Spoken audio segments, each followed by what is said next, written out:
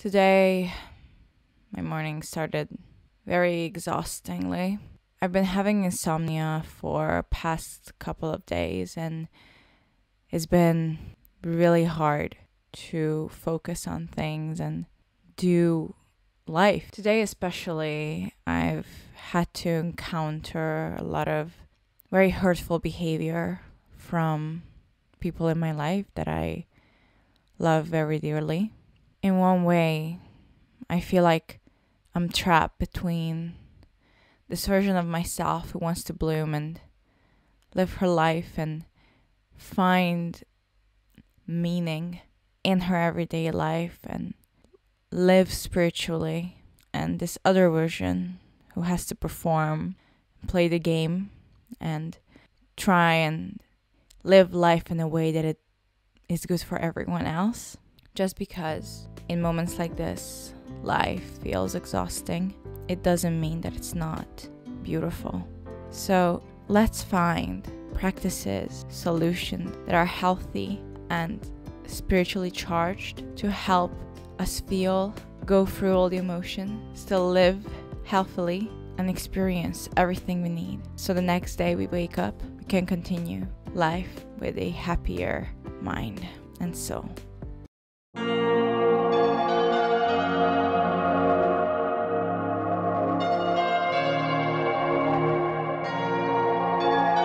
No matter if I take a shower or a bath, I always do this little cleansing ritual. That is, whenever I wash myself, I imagine my worries, problems, and pain as this muddy, gooey thing. And through cleansing, I remove it. I dissolve it from my body. When I am taking a shower, I imagine the water dripping down and cleansing all of that muddiness from my body and from my soul. I also imagine this white light coming through my body and just flushing all the negativity, all the toxins out. And let me tell you, since I've been doing this imaginative way of cleaning my body, I find that I feel so refreshed and so free after it. On days when I don't feel quite good, I like to wear something comfy. And let me tell you, large t shirts are my lifesaver. And then putting on just warm, cozy, cute socks.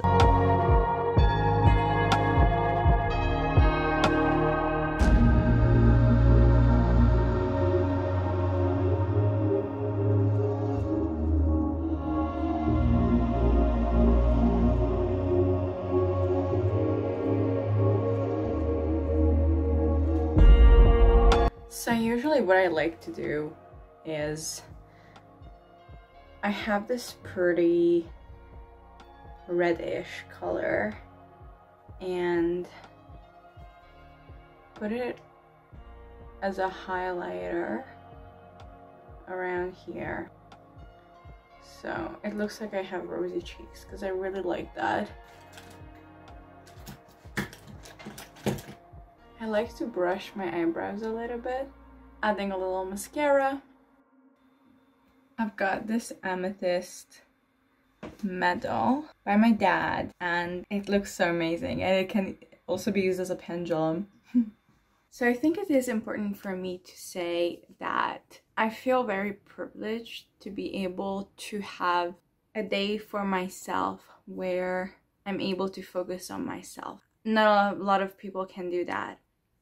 So what I want to say is whenever there's this reoccurring problem that you face and that you cannot cope with in the moment and you might not have time to do a whole routine to reset and to find realignment again try to think of what your body needs and what your circumstances allow you to do.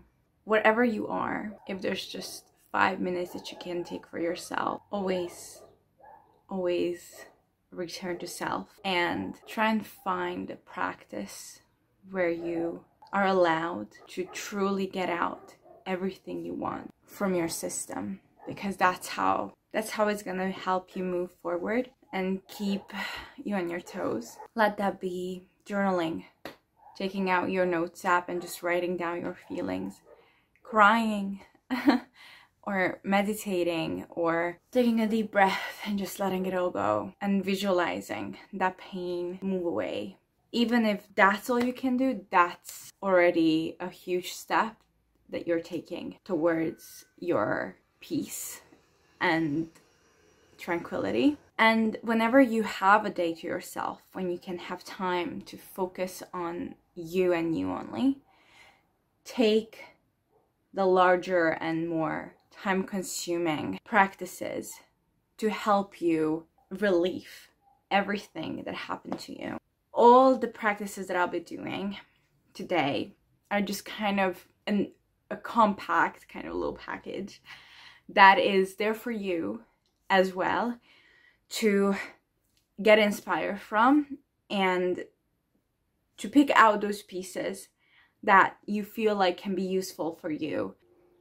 So it's not about time itself and how long does it take you to complete a practice. It's more so about how it feels, the effect that it has on you, and how much of that time you can truly put into that focus and concentration. These days, I find that I crave less and less meat. And so, in honor of this sad little day, I decided to make a comforting meal that is also vegetarian. So, I'm peeling some potatoes and also chopping up some delicious corn from the cob. I love veggies so much and they fill me up, especially corn and potatoes because they're filled with starch and healthy carbohydrates. Mushrooms are a staple. And so I'm making this potato, corn, mushroom deliciousness, adding in some teriyaki sauce, mixing it all together and I've noticed that because the teriyaki sauce has some sugar in it, it caramelized all my veggies, and I also added some crumbled feta cheese on top, which made it even more delicious.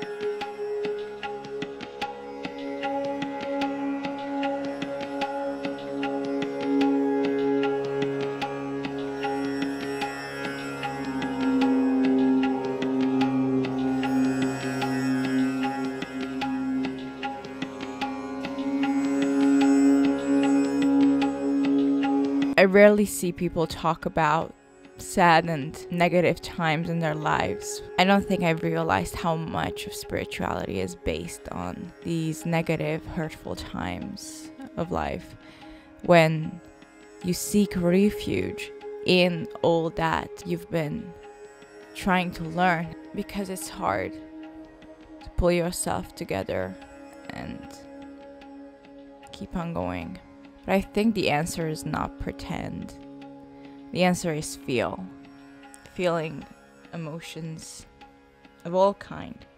Not just the good ones and not just a few bad ones, but also know that these are part of your existence and your emotional self that you need to experience as well. Maybe the answer is finding the way out, but the way out is through, through experience, through slowing down and listening to what your heart is telling you, what feels good in the moment, not what you should be doing, and feeling living without judgment of yourself. I got myself this delicious blend, which is a summer tea blend It's actually from my hometown.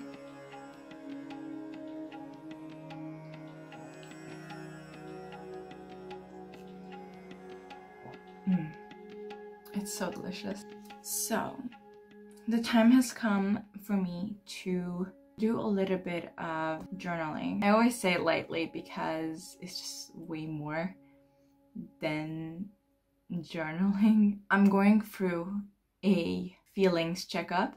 It's this way for me to kind of ask myself how I'm feeling and kind of circling back into what has caused me to feel this way and kind of break it down in a way that I connect the dots and there's a conclusion to it that helps me reiterate and clearly find the root cause of my problem because I've told you that I don't really feel good mentally.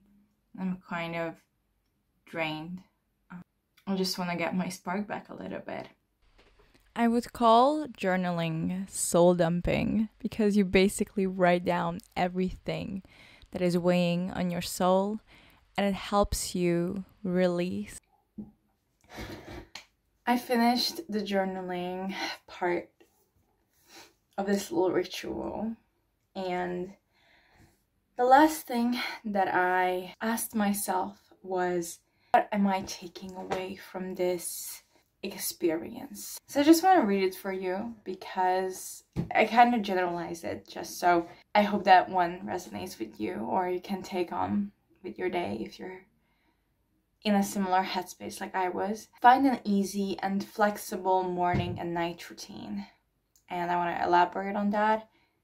Basically, I don't have the slightest clue of how my night routine should look like, but I know that from past experience it's trash and I need something that can kind of ground me and help me get to sleep. Before you react in a certain way, take a deep breath and respond kindly.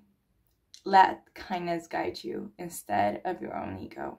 Don't beat yourself up if one day you are not feeling a certain way. It is in our nature to experience sadness, guilt, hurt, and even grief.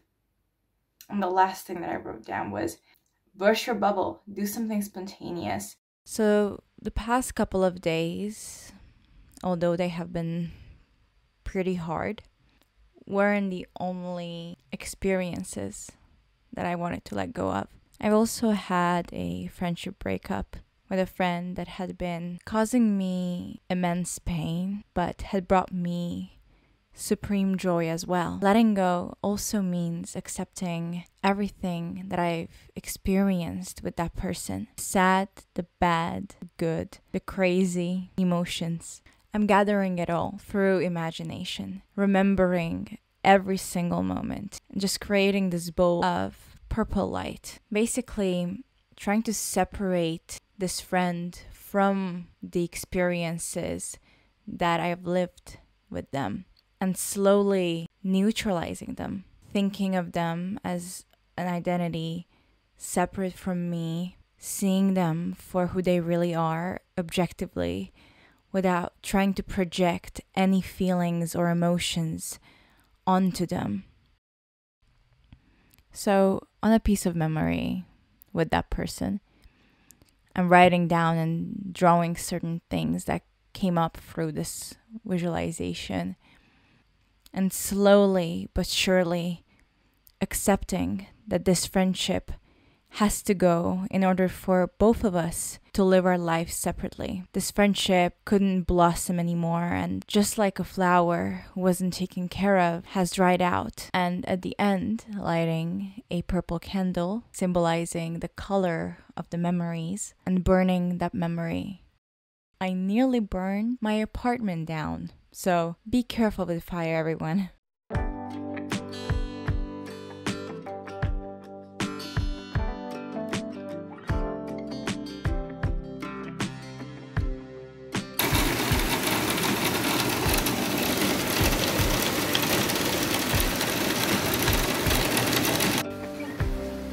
It is finally raining and I am so excited.